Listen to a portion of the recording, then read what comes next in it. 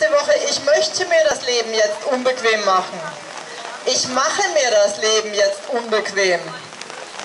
Denn ich kaufe nicht mehr im Internet, sondern beim Buchladen nebenan.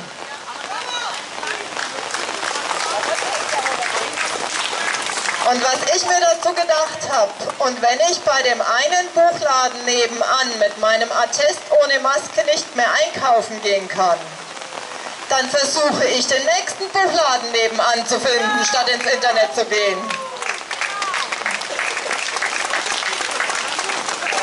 Und ich denke, genau in diesem Sinne werden wir jetzt auch vom Raimund Frank eine Rede bekommen.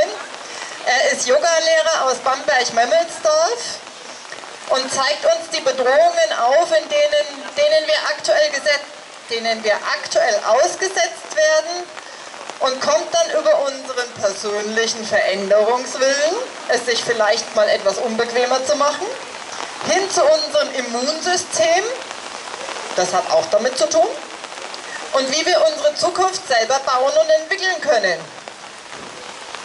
Frank, deine Bühne. Okay, danke. Ja, guten Tag. Dankeschön. Zunächst möchte ich mich herzlich bedanken, dass ich heute hier sprechen kann. Das ist schon fast eine spontane Aktion. Ja, ich habe gestern erst Evi und Carola kennengelernt und heute stehe ich hier. Ja. Oh.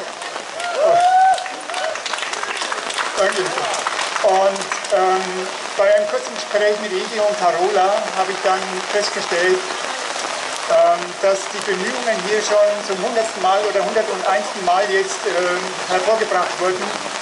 Und ich muss sagen, das ist beachtenswert.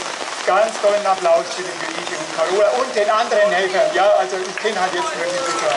Alle Helfer, herzlichen Dank dafür.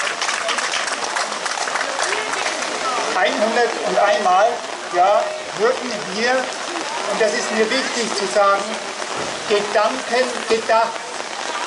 Gedanken wurden in die Vorstellung gebracht. Und somit sind sie erzeugt und haben eine Wirkung auf dieser Welt. Das ist wichtig.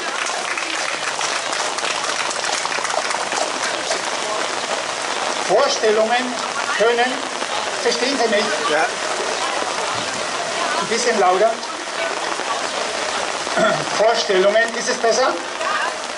Vorstellungen können gar nicht oft genug wiederholt werden. Es ist wichtig, denn durch die Wiederholung werden sie erst einmal lebendig. Nur etwas nachbabbeln, entschuldigt bitte ja diesen Begriff, ja, das ist zu wenig. Die Vorstellung des, des Gedankens ist äußerst wichtig, er muss kreiert werden und das ist unsere schöpferische Möglichkeit, die wir mit dem Leben in die Hand bekommen haben. Gedanken zu kreieren.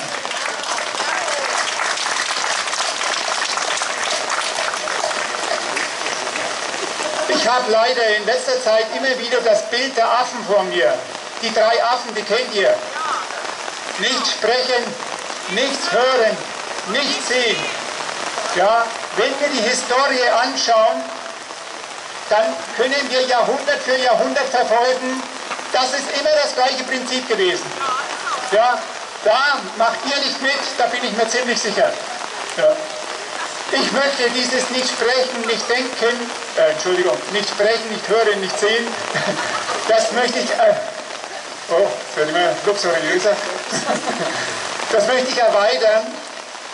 Viele Menschen denken nicht, viele Menschen empfinden nicht mehr, viele Menschen haben keine Willenskraft mehr und viele Menschen haben keinen Standpunkt mehr im Herzen. Ja, und daran müssen wir arbeiten und ihr helft da alle mit, da bin ich sicher.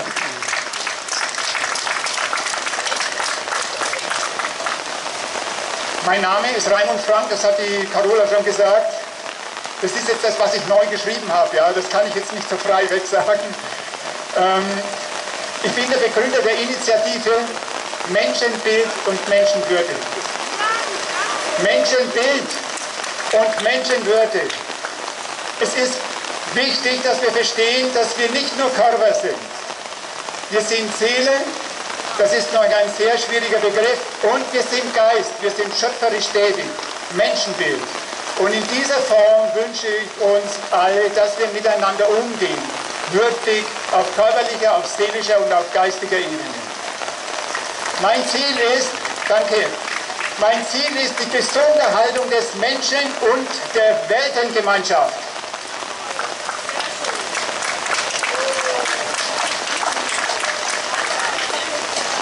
Jeder Mensch kann sich einmal fragen, wieso ein Rückgrat hat. Ich als Yogalehrer weiß das. Warum haben wir ein Rückgrat? Um uns aufzurichten, ja, um uns hinzustellen und zu sagen, was will ich in dieser Welt hinterlassen? Das ist wichtig. Was will ich in dieser Welt hinterlassen? Ich möchte Gedanken hinterlassen, ich möchte Gedanken demonstrieren, die tatsächlich dem Menschenbild gerecht werden. Darum kann ich sagen, ich stehe hier mit einem Ideal.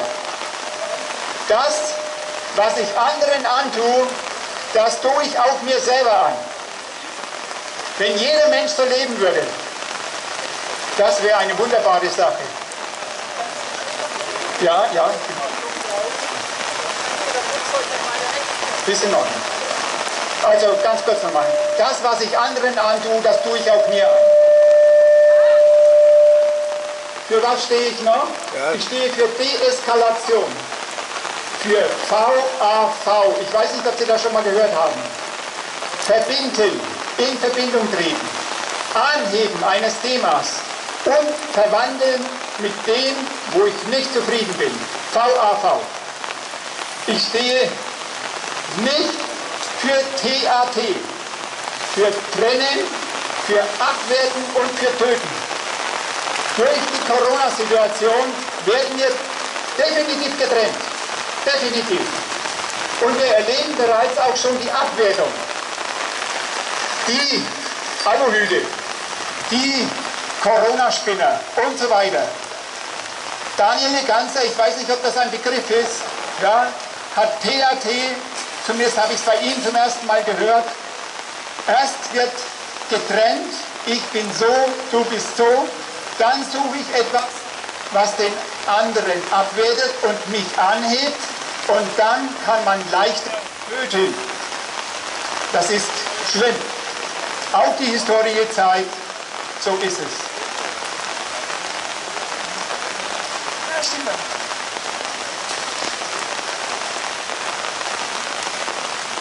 bin auch für die Nicht-Eskalation. Denn wenn zwei sich streiten,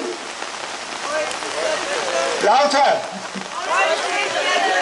wenn zwei sich streiten, freut sich der Dritte. Ich frage mich zurzeit, wer das ist. Ich frage mich das immer wieder. Ja? Wir brauchen ja nur in den Fernseher zu schauen. Ja? Dann stehe ich dafür, dass die Gedanken der Polarität überwunden werden. Wir müssen lernen, miteinander zu sprechen, auch wenn es unangenehm ist und wenn es unglaubliche Spannungsverhältnisse sind, wenn man jemand vor uns ist, der anderer Meinung ist. Ja? Miteinander sprechen, die Polaritäten, die dürfen sein und müssen vielleicht sein, damit man sich entwickelt. Ja? Aber wir können auch daran arbeiten, dass wir sie überwinden, die Polaritäten. Das heißt, das heißt, wir können verwandeln. Was sehe ich, wenn ich in die Welt schaue? Ich sehe mutige Bürger. Ich sehe Bürger ohne Angst. Ich sehe aber auch besorgte Bürger mit einem Weltenverantwortungsgefühl. Ich denke, die wenigsten denken nur an sich wenn Sie in die Corona-Thematik hineinschauen. Menschen mit Weltverantwortungsgefühl, das ist jetzt notwendig. Ich sehe auch fragende Bürger mit Unterscheidungskraft. Die wird uns abgesprochen. Mit diesem Mainstream, den wir jeden Tag reinkriegen, wird uns die Unterscheidungskraft genommen. Einseitig werden wir informiert. Ich sehe mündige Bürger mit Veränderungswillen. Bitte. Habt ihr einen Veränderungswillen? Gut. Ich sehe aber auch andersdenkende Menschen, das Polare. Ich sehe viele überforderte Menschen, die sagen, ich kann es nicht mehr hören. Ich sehe viele Regist Entschuldigung, resignierte Menschen und ich sehe gelähmte Menschen und ich sehe schlafwandelnde Menschen.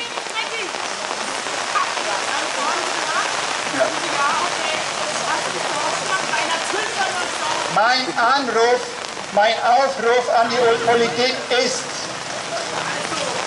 die Politik, die, die Politik und die Medien und ihre Behauptungsinhalte dürfen nicht zur Ohnmacht führen und nicht zur Selbstaufgabe der Menschen. Ich wiederhole, keine Ohnmacht.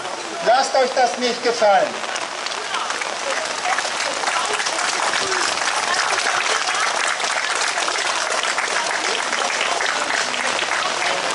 Mein Lieblingsspruch derzeit ist, dem Übel genügt es zum Erfolg, wenn das Gute nicht handelt. Und darum freue ich mich, dass ihr hier auf der Straße steht, denn zu Unrecht hat man euch mit einer weltweiten Corona-Täuschungspandemie in euren Grundrechten eingeschränkt. Ihr seid zu Recht auf der Straße, um das Wesen der Angst zurückzuweisen, das durch die Politik, durch das Robert-Koch-Institut und durch die Hofberichterstattung der Medien, Hofberichterstattung in den öffentlichen Rechtlichen, wird Angst erzeugt. Zum Teufel damit.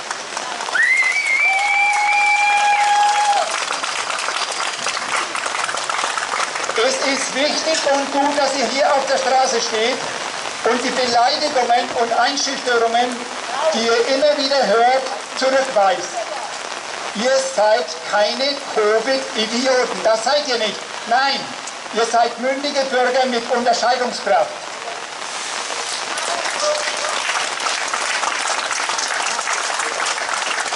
Ihr seid keine Weltenverschwörer. Ihr seid mündige Menschen mit Weltverantwortungsgefühl.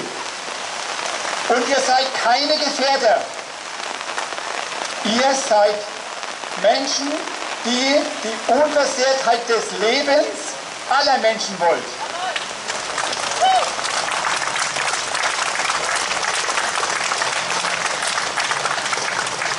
In Wortdemonstration liegt ja das wunderbare der wunderbare Inhalt, etwas aufzuzeigen, etwas, auf etwas hinzuweisen oder etwas nachzuweisen. Das heißt, Unduldsames wie Lügen, Irrtümer, Manipulationen und Betrug aufzuzeigen.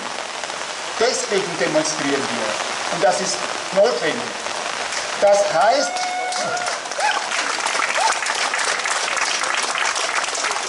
Das heißt aber auch Lösungen aufzeigen. Ja? Also gestern habe ich eine Rede gehört, das muss ich kurz einwenden, ja, nicht der Rede, in ein Gespräch. Und nächste Woche ist, treten alle Politiker ab. Da kann ich mir nur die Augen reiben, ja. Und was dann? Das funktioniert nicht, ja. Dann, haben wir, dann sind wir handlungslos. Das, das kann so nicht sein. Wir müssen nach Lösungen suchen. Wir müssen Gedanken denken, die Gedanken aufzeigen. Und wir müssen sie wahrscheinlich recht lange denken. Und dann wird Politik sich etwas tun. Aber Politik weg nicht. Das gibt. Das heißt also Fakten auf den Tisch legen, damit sie für das Bewusstsein nachvollziehbar sind Das heißt, Fakten auf den Tisch legen, damit logische Gedankenfolgen gebildet werden können. Das heißt, damit Unterscheidungskraft bei jedem von euch gebildet werden kann. Ja? Mit Unterscheidungskraft meine ich noch, nicht nur, aha, das ist so, das ist so, das meine ich im Herzen. Damit die Unterscheidungskraft im Herzen ankommt. Ja? Wir beginnen in einem Gedanken, aber wir müssen bis zum Herzen vordringen, was ist gut und was ist nicht gut. Ja, und somit kann dann natürlich jeder Mensch erst einmal seinen Standpunkt beziehen. Wenn wir Fakten haben, ohne Standpunkt, dann wird es schwierig auf dieser Welt. Ich frage die Regierung, ich frage die Frau Merkel und alle, die da zuständig sind, warum werden die Fakten, die von Ärzten für Aufklärung, von Rechtsanwälten für Aufklärung, von Professor Pakti, von Professor Wotak, von Professor Mausfeld und von vielen anderen, warum werden diese Fakten nicht in den öffentlichen Rechtlichen gezeigt, war genauso lang und breit wie das andere.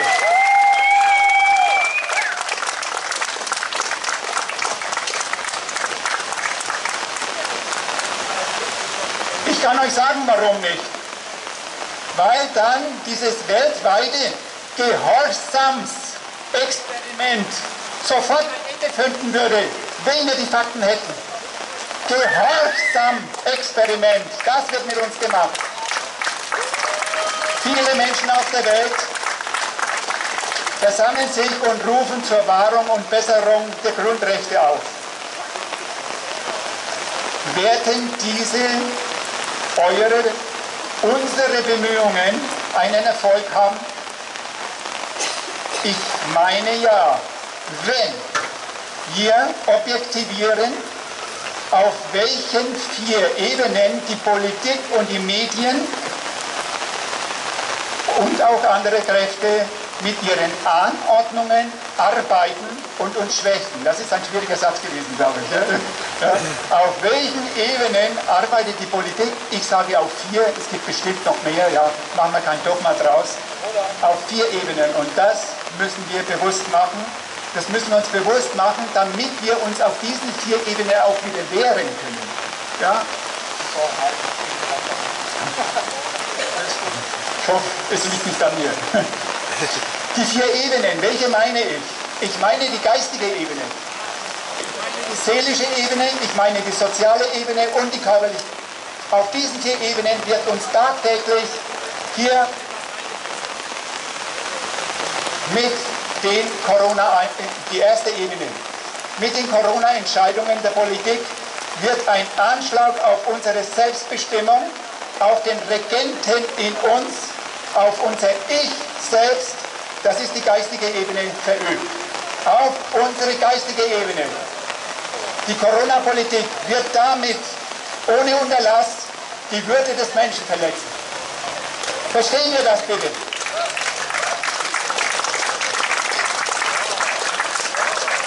Die Würde des Menschen, die geistige Ebene. Die Corona-Täuschung wird als eine weltweite Entichung genutzt. Unser Ich, das höchste geistige Gut, wird uns abgesprochen. Jede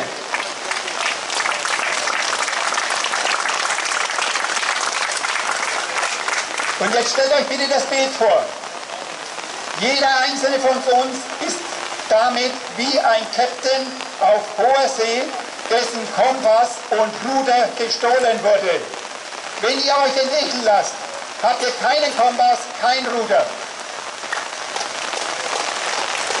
Und dann werden unsere Schiffe nur noch von Winden und von Wasserströmungen hin und her bewegt und fremdbestimmt. Keine Selbstbestimmung mehr.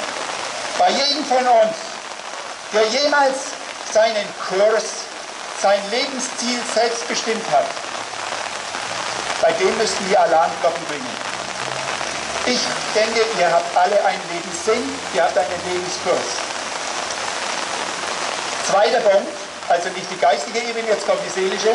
Mit der Corona-Anordnung wird allen Menschen auf dieser Welt, aber ganz besonders denen, die auf die Straße gehen, die Corona-Zweifel haben, das eigenständige Bewusstseinsvermögen, das Denken, Fühlen und Wollen abgesprochen. Ihr seid Dummerchen. Geht das rein? Das ist eine Beleidigung. Ja, da müssten wir erschüttern jedes Mal. Ich sag's nochmal, ihr seid Dummerchen. Das wird uns hier. Ich höre kein Widerspruch. Also bei dir glaube ich.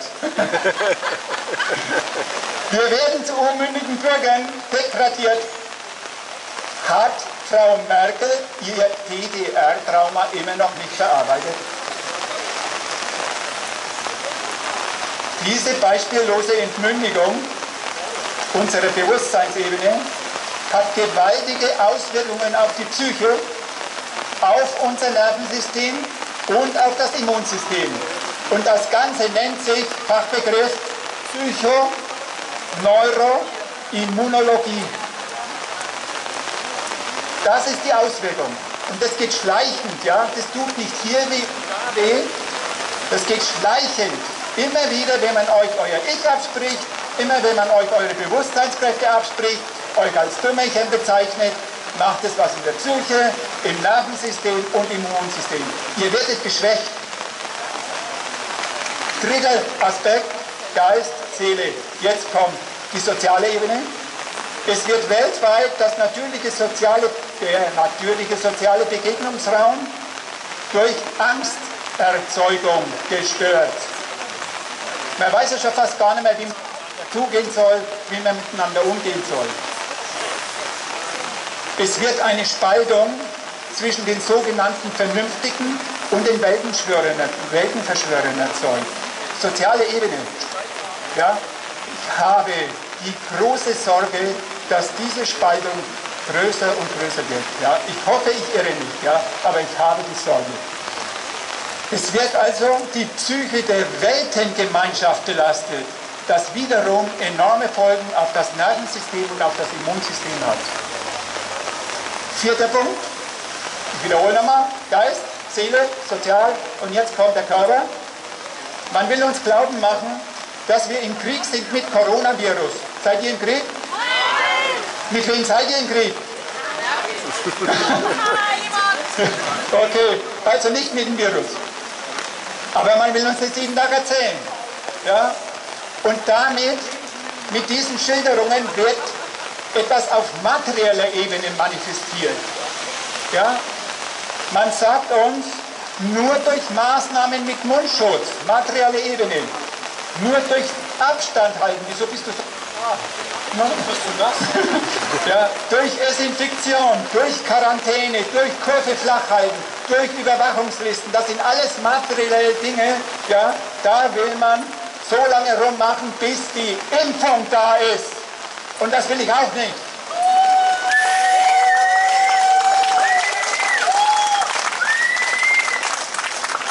Diese politische und medizinische Einschätzung vom Robert-Koch-Institut reduziert den Menschen auf den Körper allein. Ich habe von der Frau Merkel noch nie gehört, Jungs und Mädels da, stellt euch mal hin, denkt ein wenig drüber nach, benutzt da mal euer Bewusstsein. Habt ihr das jemals gehört? dass das stärkend auf das Immunsystem wirkt. Habt ihr das jemals gehört? Ihr habt es bestimmt im privaten Bereich schon erfahren. Da ist jemand von euren Bekannten zerstört, zertrümmert, wegen irgendeinem Schicksalsschlag. Ja? Richtig kaputt. Und dann führt ihr ein gutes Gespräch, eine Stunde lang. Wie geht es einem danach? Neuroimmunologie. Jawohl. Das Immunsystem bräuchte dringend eine Entlastung und Stärkung durch die Aktivierung des individuellen, seelischen, sozialen und schöpferischen Potenzials. Die Menschen werden aber durch die Anordnungen der Politik und des Robert-Koch-Instituts auf dieser Ebene geschwächt. Wir werden täglich beflüstert und dadurch geschwächt. Und dadurch werden wir noch anfälliger für Krankheiten. Wir werden nicht wir werden anfälliger für Krankheiten. Vom So? Ja, gut. Danke. Jetzt kommt die Historie. Die Ursachen von Krisen und Krankheiten liegen nicht in der Materie. Sie sind Ergebnisse von Irrtümern, von Versuchungen, von Vorteilsdenken, oder Versäumnissen in der Menschheitsentwicklung. Die Historie zeigt, Krisen verursachen jene Menschen, die, Entschuldigung, Krisen verursachen jene Gedanken, die die Menschen pflegen oder versäumen zu pflegen. Die Historie zeigt auch, Krisen sind von Lügen, Manipulationen und Vorteilssuchen begleitet. Die Historie zeigt auch, es waren meist die Gedanken einer Führungselite oder von machtgierigen Menschen, die Krisen erzeugten. Die Historie zeigt auch, Angst schafft Krisen. Die Historie zeigt auch, das Volk erkannte oft die Täuschungen der Machthaber nicht und diente der Krise.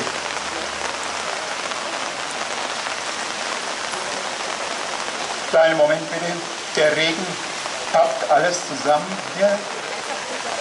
Letzte Seite. Man kann vielleicht nicht ohne weiteres annehmen, was ich jetzt sage. Es ist harter Tobak. Leider unterstützen wir selbst diese Krisen. Wir geben unseren Feind, ich nenne ihn jetzt einmal so, unsere Kraft. Zum Beispiel, indem wir GEZ-Gebühr bezahlen. Ich will damit jetzt nicht alles schlecht reden, ja? Aber indem wir GEZ-Gebühr bezahlen, bezahlen wir jene Medien, die Hofberichterstattung leisten. Ich zahle gern Gebühr, ja. Ich muss auch sagen, es gibt wunderbare Dokumentationssendungen und so weiter und so fort, ja. Aber ich möchte, was das Politische ist und so weiter und so fort, das Soziale, möchte ich nicht eine Hofberichterstattung, ja. Aber wir unterstützen das mit dieser Gebühr.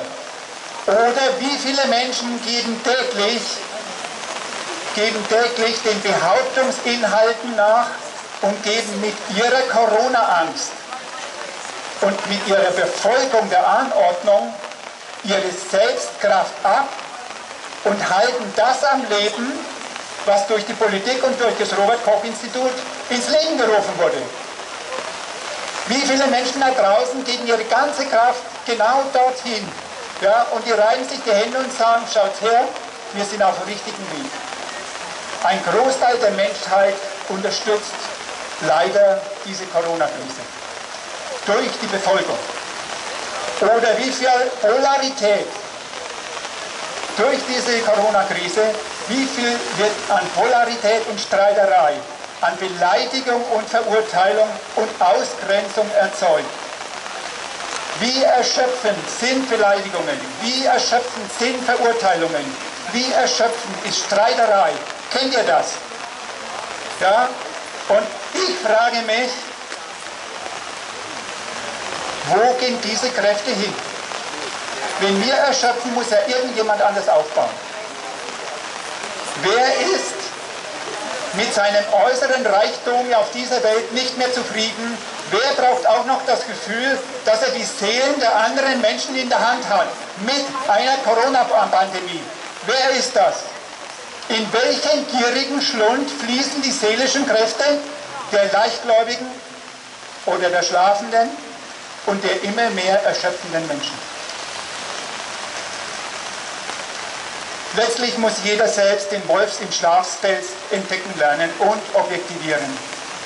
Ich bitte euch, bleibt wachsam, übergebt euch nicht den Lügen, übergebt euch nicht der Angst und der Beleidigung.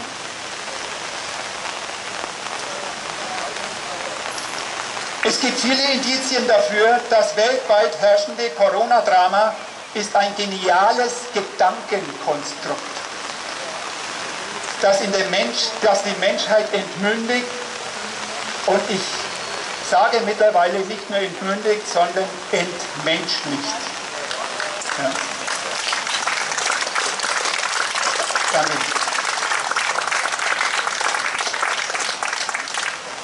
Wer, was steht an?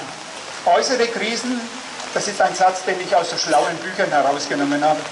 Äußere Krisen verlangen nach einer inneren Entwicklung. Wisst ihr zufällig, wer das gesagt hat? Hm? Albert Einstein. Und nach tragfähigen Gedanken. Das kann man sich bei ja, als äußere Krisen verlangen nach innerer Entwicklung und nach tragfähigen Gedanken, die in eine Neugestaltung des Lebens führen können. Das ist wichtig und darum wiederhole ich nochmal meinen Eingangssatz auch. Dem Bösen genügt es zum Erfolg, wenn das Gute nicht handelt, wenn wir keine Gedanken denken.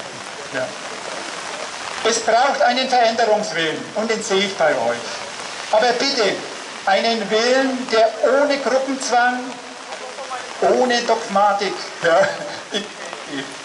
jeder einzelne von euch kann ein Ideal denken. Ich bin mir sicher, ihr habt eins. Jeder einzelne kann einen Gedanken auferstehen lassen.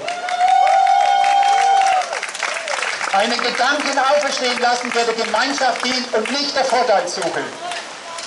Das bedeutet allerdings Arbeit, Mühe und Empathie. Was braucht der Nächste? Verausgabt bitte eure Kräfte nicht, indem ihr sie gegen etwas richtet. Nutzt eure Fähigkeiten und eure Kräfte damit es sie für etwas hernimmt.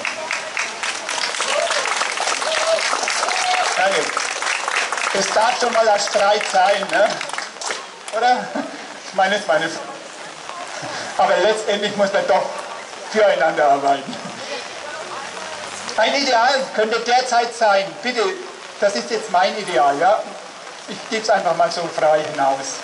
Mein Ideal ist derzeit die Stärkung der Selbstkraft des Menschen und des Immunsystems durch eine, Auseinandersetzung mit dem Übel, damit ich erkenne, was mich schwächt, und durch die Förderung und Entwicklung bester Gedankenideale, die einen ausgewogenen Ich-Standpunkt in der Welt zwischen Geistigen, zwischen Irdischen, zwischen Sozialen ermöglichen. Ja, schwieriger Satz, aber Ihr könnt es euch ja dann vielleicht auch im Film anhören noch einmal. Ich komme zum Ende langsam. Wir befinden uns im Moment in einer globalen Täuschungs im Moment in einem globalen Täuschungsgroßlabor. Das ist nicht ein Corona-Labor, das ist ein Täuschungslabor. In einem Gehorsamkeitslabor. Beendet dieses Experiment.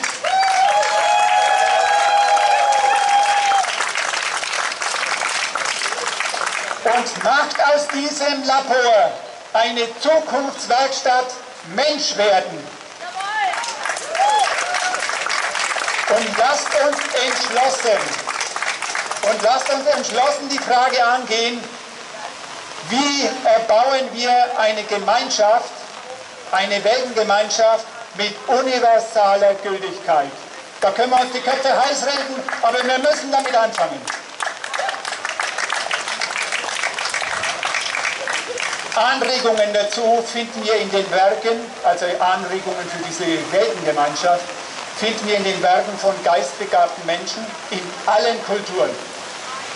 Wenn wir diese Werke respektieren und richtig verstehen lernen und umsetzen lernen, dann werden selbst die unterschiedlichsten Arbeitsansätze, sei es in Australien, in China, in Afrika, in Europa, egal wo, die unterschiedlichsten Arbeitsansätze werden zusammenfinden, weil der Geist eines ist.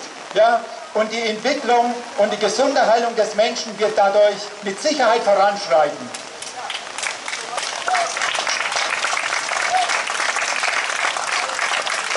In dem Zusammenhang glaube ich, und das ist mein letzter Satz, hat Covid-19 und andere Krankheiten keine Chance mehr. Ich danke euch, dass ich vor euch sprechen konnte.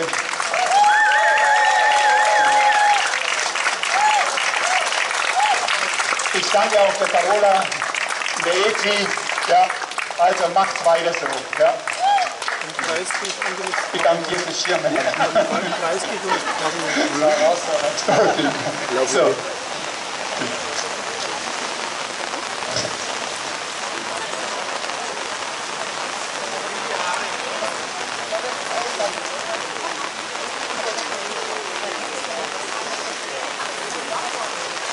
So, heute ist das alles ein wenig komplizierter.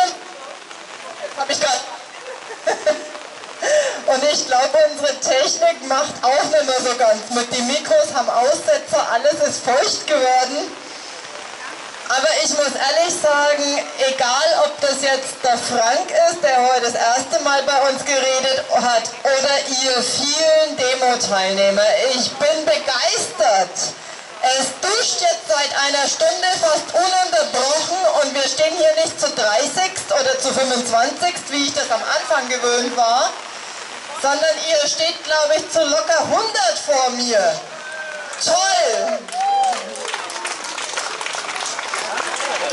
Und jetzt machen wir noch unseren Abschlusskreis. Rainer stellt heute die Kerze unter den Tisch, damit sie nicht gleich überschwemmt wird. Und dann bitte ich euch, stellt euch alle mit euren Schirmen ein wenig im Kreis auf. Wir werden auch heute, denke ich, die Kamera abbauen oder umräumen unter unser Zelt.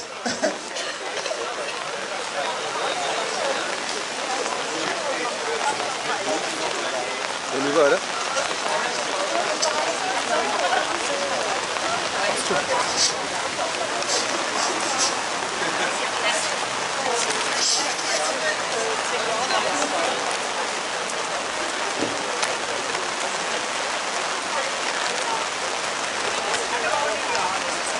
Macht ihr bitte zwei große Kreise oder auch drei?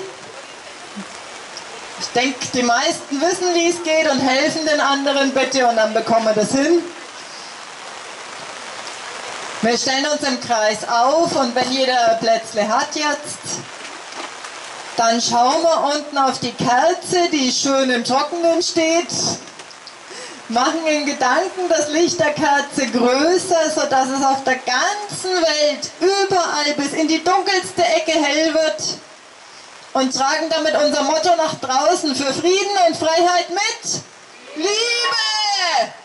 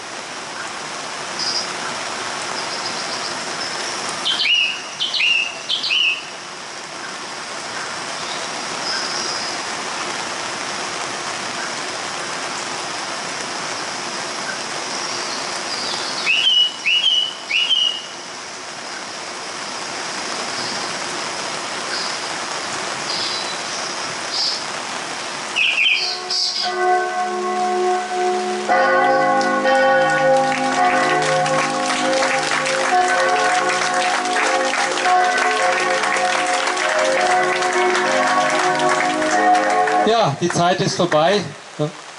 Ich danke, dass ihr da war und so tapfer ausgehalten habt. Morgen geht es schon wieder weiter um ganz normal um 18 Uhr. Ich wünsche euch einen schönen Tag. Und meine Frau deutet noch was an. Sie will noch mal das Mikro haben. Moment. Ich will noch mal dazu sagen, wir haben hier vorne jetzt unterm Pavillon unsere Glücksbox und da habe ich auch Flyer liegen zur Ankündigung für das nächste Wochenende. Gerne dürft ihr euch versuchen, was rauszunehmen. Die Zettel sind ein bisschen feucht geworden, aber vielleicht schafft ihr es.